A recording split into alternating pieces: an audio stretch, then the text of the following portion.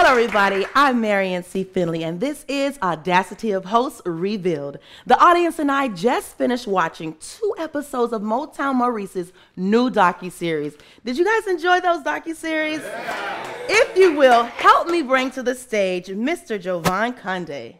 How you doing today, sir? I'm doing great. Thank awesome. you. Awesome. Listen, you. the episodes, your, your, your take on them, how were they? Man, um, I think I had expectations, and all of those expectations were met and exceeded. It's pretty incredible watching all of the old, old footage that I didn't even realize existed. It was pretty funny to see some of the things that we did back in the day. Like like dancing. Man, I still got moves, okay. so you know, I still got them. Awesome. Right here, we want to do a shout out to Mr. Brian Sandman Sanders, the illustrations. What do you think about the illustrations? That was so cool. I was talking to Motown about uh, the project, and he told me he's going to try to surprise me with some things. That right there really uh, uh, encompassed uh, where the big surprise was. Uh, those illustrations, yeah, I was working at a store, and he put it into illustration wow. in a way that I couldn't have even imagined. Awesome, awesome. Now, just watching the episode and how impactful you were on Motown, even getting him into what he's doing now. Can you just just reflect back a little bit, seeing yourself on camera back then? Okay. I always went to school just to go and just be the best me that I could be. And um like having Motown make it seem like I affected him that way was pretty cool. Uh, I didn't know. I just wanted to go to school and have fun and help people out whenever I could. But uh, it really was emotional for me because, I mean, I became a teacher. I did that for a while, and uh, yeah, I never thought about it like, oh man, I could really help. I, have been doing this for a really long time, just helping people out, trying to uh, look out for them. And I never thought of it like, oh, I'm gonna be a teacher. I was just like, I'm gonna help out my boy because like I knew Motown, good dude. Let's go do this work, and um, and, and it worked out. Now, what I really enjoy seeing that picture of your students, I love how that was included. Um, yeah. You know, started out doing one thing, and the Lord led you on that path and um, impacting people along the way. So that's amazing. Yeah. All right. So back then, 20 years ago, broadcasting students, um, you guys had it rough. You had to take equipment, heavy equipment from here, the VHSs, you know, when we first started out seeing that. Do you think that the broadcast students back then had it harder? Or, I mean, the more modern students, you know, they have it more easier. Which one is it? Okay, I would like to say that although we had heavier equipment, um, probably had a lot more things to carry, things have gotten so that uh, they're so used to having so much right at their fingertips.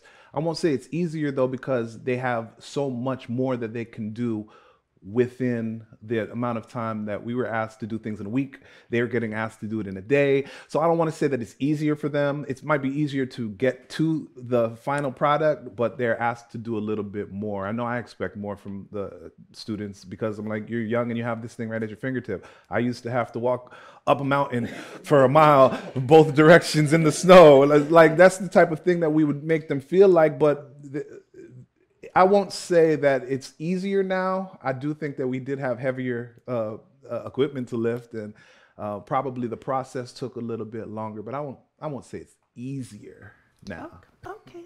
All right. Thank you for that. Um, while interning in college, you had opportunities. Mm-hmm. You could have worked in LA, but you turned it down. Any regrets? Oh, no. I I live I've had a great life.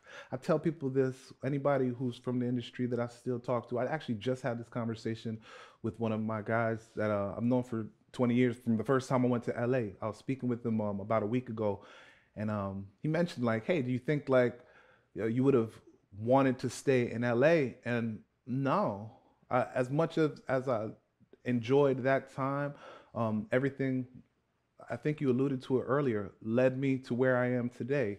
Um, I have a beautiful family. I've got a, a wife, beautiful kids, and um, I would never change any of that because everything that brought me to that moment to be where I am today is making me who I am. And and it's beautiful. I, I have no regrets. I love my life. I could always talk about the good things that I've had. I've had bad things happen, but you know that's what makes you a well-rounded individual. Um, this life that we live, you you know, people say YOLO a lot, right? They you they they used to say, it, but but like, but you only live once, and every opportunity you have to take it, move forward, and just keep looking forward. Don't look back like, oh, I could do, could have done. Just keep moving forward and thinking about all of those things that you can do. Keep that mindset of growth. Keep looking towards the future. Don't look back. Let's keep moving. I hear that. Yeah. Now, so while we're in this vein, what would you say to your 20 year old self with what you know now, with what you've been through, all of the struggles, um, a broadcasting student? What would you say to them? From what you know now, what would you say back to your 20 year old self or even to a student, broadcasting student now? To a different student. If it, I would to my 20 year old self, I- think he did what he was supposed to do because um, I made sure to take opportunities and make opportunities. Um, drove coast to coast. I drove from Tallahassee, Florida to LA a, a couple of times. I going to Chicago as a sophomore in college um, and going on that internship the first day I landed, there was a blizzard.